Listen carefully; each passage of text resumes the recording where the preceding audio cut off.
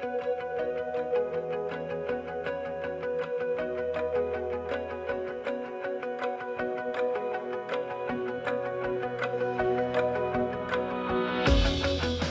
innovated and founded Zero Drop, foot shape technology, and now we're continuing that with the world's first smart shoe, with breathable waterproof material shoes, with Vibram outsoles. We have so much going on here at Altra, it's unbelievable.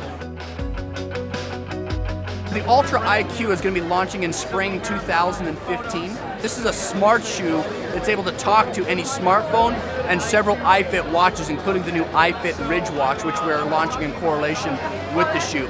It gives live feedback while you're running. It'll tell you if you're heel striking, midfoot striking, toe striking. It'll give you your cadence.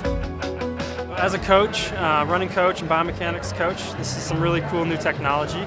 It just streamlines it all and brings it all together. It makes it easy for the athlete to see the feedback.